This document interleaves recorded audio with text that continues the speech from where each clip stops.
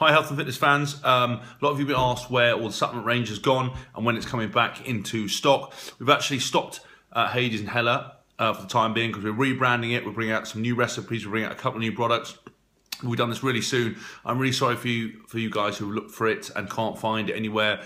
We've literally sold out across the board, but we are coming up with something soon, so please stay tuned.